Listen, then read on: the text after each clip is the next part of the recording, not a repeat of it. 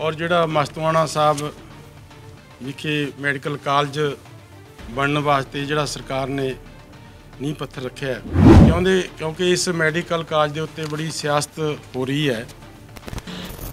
ਔਰ ਪੰਜਾਬ ਦਾ ਮੁੱਖ ਮੰਤਰੀ ਭਗਵੰਤ ਮਾਨ ਜੀ, ਮੈਂ ਸਮਝਦਾ ਕਿ ਉਹਨਾਂ ਦਾ ਕੋਈ ਇਰਾਦਾ ਨਹੀਂ ਹੈ ਇਹ ਕਾਲਜ ਬਣਾਉਣ ਦਾ। ਭਗਵੰਤ ਮਾਨ ਜਿਸ ਤਰ੍ਹਾਂ ਦਾ ਅਸੀਂ ਦੇਖ ਰਹੇ ਹਾਂ ਕਿ ਅਜੇ ਤੱਕ ਕੋਈ ਵੀ ਉਹਨਾਂ ਨੇ ਕਾਰਵਾਈ ਇਸ ਮੈਡੀਕਲ ਕਾਲਜ ਵਾਸਤੇ ਨਹੀਂ ਕੀਤੀ। ਇੰਡੀਅਨ ਮੈਡੀਕਲ ਐਸੋਸੀਏਸ਼ਨ ਤੋਂ ਪ੍ਰਵਾਨਗੀ ਲੈਣੀ ਹੁੰਦੀ ਹੈ। ਅਜੇ ਤੱਕ ਉਹ ਵੀ ਨਹੀਂ ਲਈ ਗਈ। ਔਰ ਇਸ ਤੋਂ ਪਤਾ ਲੱਗਦਾ ਕਿ ਸਿਰਫ ਤੇ ਸਿਰਫ ਉਹਦੇ ਤੇ ਸਿਆਸਤ ਹੋ ਰਹੀ ਹੈ ਔਰ ਮੈਡੀਕਲ ਕਾਲਜ ਬਣਾਉਣ ਦਾ ਕੋਈ ਉਹਨਾਂ ਦਾ ਇਰਾਦਾ ਨਹੀਂ ਹੈ। ਔਰ ਅੱਜ ਦਾ ਸਾਡਾ ਜਿਹੜਾ ਮੇਨ ਮਕਸਦ ਹੈ ਔਰ ਜਿਹੜਾ ਮਸਤਵਾਣਾ ਸਾਹਿਬ ਵਿਖੇ ਮੈਡੀਕਲ ਕਾਲਜ ਬਣਨ ਵਾਸਤੇ ਜਿਹੜਾ ਸਰਕਾਰ ਨੇ ਨੀਂਹ ਪੱਥਰ ਰੱਖਿਆ ਉਹਦੇ ਸੰਬੰਧੀ ਅੱਜ ਅਸੀਂ ਸਾਰੇ ਇੱਥੇ ਇਕੱਤਰ ਹੋ ਕੇ ਤੁਹਾਨੂੰ ਸਾਰਾ ਦੱਸਣਾ ਚਾਹੁੰਦੇ ਹਾਂ। ਕਈ ਵਾਰਾਂ ਬੜੇ ਭਰਮ ਭੁਲੇਖੇ ਪਾਏ ਜਾ ਰਹੇ ਨੇ। ਕਿਉਂਦੇ ਕਿਉਂਕਿ ਇਸ ਮੈਡੀਕਲ ਕਾਲਜ ਦੇ ਉੱਤੇ ਬੜੀ ਸਿਆਸਤ ਹੋ ਰਹੀ ਹੈ। ਔਰ ਪੰਜਾਬ ਦਾ ਮੁੱਖ ਮੰਤਰੀ ਭਗਵੰਤ ਮਾਨ ਜੀ, ਮੈਂ ਸਮਝਦਾ ਕਿ ਉਹਨਾਂ ਦਾ ਕੋਈ ਇਰਾਦਾ ਨਹੀਂ ਹੈ ਇਹ ਕਾਲਜ ਬਣਾਉਣ ਦਾ। ਜਿਸ ਤਰ੍ਹਾਂ ਦੀ ਸਥਿਤੀ ਬਣੀ ਹੋਈ ਹੈ, ਜਿਸ ਤਰ੍ਹਾਂ ਦਾ ਸਾਰਾ ਇਹਦੇ ਉੱਤੇ ਸਿਆਸਤ ਹੋ ਰਹੀ ਹੈ। ਕਿਉਂਕਿ ਅਸੀਂ ਸਾਰੇ ਚਾਹੁੰਦੇ ਹਾਂ, ਇਲਾਕੇ ਵਾਲੇ ਵੀ ਚਾਹੁੰਦੇ ਹਾਂ, ਸ਼੍ਰੋਮਣੀ ਗੁਰਦੁਆਰਾ ਪ੍ਰਬੰਧ ਕਮੇਟੀ ਚਾਹੁੰਦੀ ਹੈ, ਸਾਰੇ ਚਾਹੁੰਦੇ ਹਾਂ ਕਿ ਇੱਥੇ ਵਸਤਵਾਣਾ ਵਿਖੇ ਸੰਤ ਬਾਬਾ ਅਤਰ ਸਿੰਘ ਜੀ ਮਹਾਨ ਹਸਤੀ ਹੈ ਜਿਹੜੀ, ਉਹਨਾਂ ਦੇ ਨਾਂ ਤੇ ਉੱਤੇ ਮੈਡੀਕਲ ਕਾਲਜ ਬਣਨਾ ਚਾਹੀਦਾ ਜਿਹਨੂੰ ਆਪਾਂ ਨੂੰ ਸਾਰੇ ਜ਼ਿਲ੍ਹੇ ਨੂੰ ਬਹੁਤ ਵੱਡਾ ਫਾਇਦਾ ਹੋਣਾ ਲੇਕਿਨ ਭਗਵੰਤ ਮਾਨ ਜਿਸ ਤਰ੍ਹਾਂ ਦਾ ਅਸੀਂ ਦੇਖ ਰਹੇ ਹਾਂ ਕਿ ਅਜੇ ਤੱਕ ਕੋਈ ਵੀ ਉਹਨਾਂ ਨੇ ਕਾਰਵਾਈ ਇਸ ਮੈਡੀਕਲ ਕਾਲਜ ਵਾਸਤੇ ਨਹੀਂ ਕੀਤੀ। ਇੰਡੀਅਨ ਮੈਡੀਕਲ ਐਸੋਸੀਏਸ਼ਨ ਤੋਂ ਪ੍ਰਵਾਨਗੀ ਲੈਣੀ ਹੁੰਦੀ ਹੈ। ਅਜੇ ਤੱਕ ਉਹ ਵੀ ਨਹੀਂ ਲਈ ਗਈ। ਔਰ ਇਸ ਤੋਂ ਪਤਾ ਲੱਗਦਾ ਕਿ ਸਿਰਫ ਤੇ ਸਿਰਫ ਉਹਦੇ ਤੇ ਸਿਆਸਤ ਹੋ ਰਹੀ ਹੈ ਔਰ ਮੈਡੀਕਲ ਕਾਲਜ ਬਣਾਉਣ ਦਾ ਕੋਈ ਉਹਨਾਂ ਦਾ ਇਰਾਦਾ ਨਹੀਂ ਹੈ। ਸਿਰਫ ਸ਼੍ਰੋਮਣੀ ਗੁਰਦੁਆਰਾ ਪ੍ਰਬੰਧ ਕਮੇਟੀ ਨੂੰ ਬਦਨਾਮ ਕਰਨ ਦੀਆਂ, ਅਕਾਲੀ ਦਲ ਨੂੰ ਬਦਨਾਮ ਕਰਨ ਦੀਆਂ, ਹੋਰ ਸਾਰਿਆਂ ਨੂੰ ਬਦਨਾਮ ਕਰਨ ਦੀਆਂ ਜਿਹੜੀਆਂ ਸਾਜ਼ਿਸ਼ਾਂ ਚੱਲ ਰਹੀਆਂ ਨੇ ਔਰ ਇਹ ਸਾਸ ਦੇ ਅਧੀਨ ਹੀ ਮੇਰੇ ਘਰ ਦੇ ਅੱਗੇ ਵੀ ਕਾਫੀ ਦਿਨਾਂ ਤੋਂ ਜਿਹੜਾ ਉਹ ਧਰਨਾ ਚੱਲ ਰਿਹਾ ਹੈ।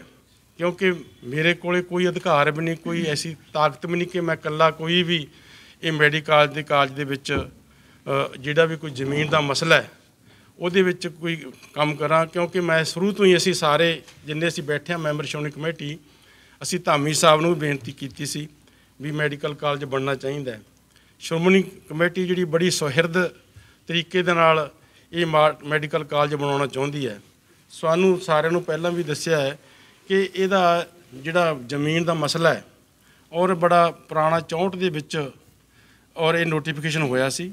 ਸ਼੍ਰੋਮਣੀ ਗੁਰਦੁਆਰਾ ਪ੍ਰਬੰਧ ਕਮੇਟੀ ਦੇ ਹੱਕ ਦੇ ਵਿੱਚ ਸੀ ਔਰ ਸਮੇਂ-ਸਮੇਂ ਵੱਖ-ਵੱਖ ਕੋਰਟਾਂ ਦੇ ਵਿੱਚੋਂ ਹਮੇਸ਼ਾ ਹੀ ਸ਼੍ਰੋਮਣੀ ਗੁਰਦੁਆਰਾ ਪ੍ਰਬੰਧ ਕਮੇਟੀ ਜਿਹੜੀ ਹੈ ਉਹ ਜਿੱਤਦੀ ਰਹੀ ਹੈ। ਸਾਰੀਆਂ ਧਰਾਂ ਜਿਹੜੀਆਂ ਸੀ, ਭਾਵੇਂ ਲਾਲ ਸਿੰਘ ਨੇ ਉਸ ਵੇਲੇ ਕੇਸ ਕੀਤਾ ਸੀ। ਔਰ ਉਹ ਵੀ- ਉਹ ਵੀ ਉਹਨਾਂ ਦਾ ਵੀ ਰੱਦ ਹੋਇਆ। ਉਸ ਤੋਂ ਬਾਅਦ ਇਹ, ਟਰਸਟ ਵੱਲੋਂ ਵੀ ਕੀਤਾ ਗਿਆ। ਉਸ ਵੇਲੇ ਦੇ ਕੋਈ ਖੁਸ਼ਪਾਲ ਸਿੰਘ ਸ਼ਾਇਦ ਇਸ ਤਰ੍ਹਾਂ ਦਾ ਨਾਂ ਸੀ। ਔਰ ਉਹ ਉਹਨਾਂ ਦਾ ਵੀ ਹਾਈ ਕੋਰਟ ਦੇ ਵਿੱਚੋਂ ਰੱਦ ਹੋਇਆ। ਹੁਣ ਹੁਣ ਇੱਕ ਸਾਸ ਦੀ ਸਾਰੀ ਪ੍ਰਸ਼ਾਸਨ ਨੂੰ ਇਸ ਗੱਲ ਦਾ ਪਤਾ ਸੀ।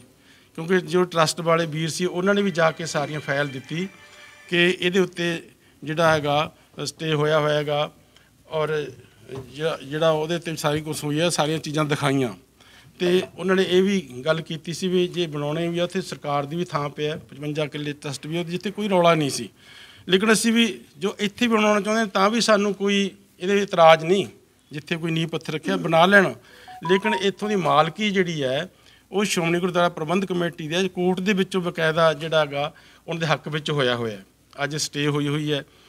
ਲੇਕਿਨ ਜੇ ਭਗਵੰਤ ਮਾਨ ਚਾਹਵੇ ਕਿ ਅਸੀਂ ਕਾਲਜ ਬਣਾਉਣਾ ਹੈ ਤਾਂ ਉਹ 5 ਮਿੰਟਾਂ 'ਚ ਇਹ ਗੱਲ ਕਰ ਸਕਦਾ, ਸ਼੍ਰੋਮਣੀ ਗੁਰਦੁਆਰਾ ਪ੍ਰਬੰਧਕ ਕਮੇਟੀ ਨਾਲ ਗੱਲ ਕਰੇ, ਟਰਸਟ ਨਾਲ ਕਰ ਲੈ, ਕਰੇ, ਹੋਰ ਧਿਰਾਂ ਨੂੰ, ਸਾਰਿਆਂ ਨੂੰ ਇਕੱਠੇ ਬੁਲਾ ਕੇ ਗੱਲ ਕਰ ਲੇ।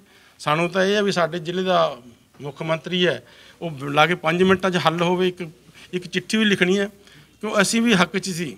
ਔਰ ਜਿੰਨੀ ਸਾਡੀ ਐਗਜ਼ੈਕਟਿਵ ਕਮੇਟੀ ਹੈ, ਸਾਡੇ ਮੈਂਬਰ ਸਾਹਿਬ ਬੈਠੇ ਨੇ, ਚੰਗਾਲ ਸਾਹਿਬ, ਉਹਨਾਂ ਨੇ ਵੀ ਉੱਥੇ ਮਤਾ ਪਾਸ ਕਰਤਾ ਸੀ ਕਿ ਇਹਦੀ ਮਾਲਕ ਜਿਹੜੀ ਹੈ, ਸ਼੍ਰੋਮਣੀ ਗੁਰਦੁਆਰਾ ਪ੍ਰਬੰਧ ਕਮੇਟੀ ਹੈ। ਔਰ ਅਸੀਂ ਚਾਹੁੰਦੇ ਹਾਂ ਵੀ ਸ਼੍ਰੋਮਣੀ ਕਮੇਟੀ ਚਾਹੁੰਦੀ ਹੈ ਇੱਥੇ ਕਾਲਜ ਬਣੇ, ਲੇਕਿਨ ਜਿਹੜੀ ਪੰਜਾਬ ਸਰਕਾਰ ਹੈ, ਉਹ ਸ਼੍ਰੋਮਣੀ ਗੁਰਦੁਆਰਾ ਪ੍ਰਬੰਧਕ ਕਮੇਟੀ ਲਿਖਤੀ ਤੌਰ ਤੇ ਗੱਲ ਕਰੇ, ਅਸੀਂ ਇਹ ਜ਼ਮੀਨ ਦੇਣਾ ਚਾਹੁੰਦੇ ਹਾਂ, ਕੋਈ ਐਸੀ ਗੱਲ ਨਹੀਂ ਹੈ, ਜਦੋਂ ਮਰਜ਼ੀ ਉਹ ਗੱਲ ਕਰਕੇ ਜ਼ਮੀਨ ਲੈ ਲੈਣ, ਲੇਕਿਨ ਇਹਦੇ ਉੱਤੇ ਸਿਆਸਤ ਕੀਤੀ ਜਾ ਰਹੀ ਹੈ, ਕਿਉਂਕਿ ਸਿਆਸਤ ਇਸ ਕਰਕੇ ਹੈ ਕਿ 24 ਦੀਆਂ ਕਿ ਚੋਣਾਂ ਤੱਕ ਇਹਨੂੰ ਲਮਕਾਉਣਾ ਚਾਹੁੰਦੇ ਨੇ।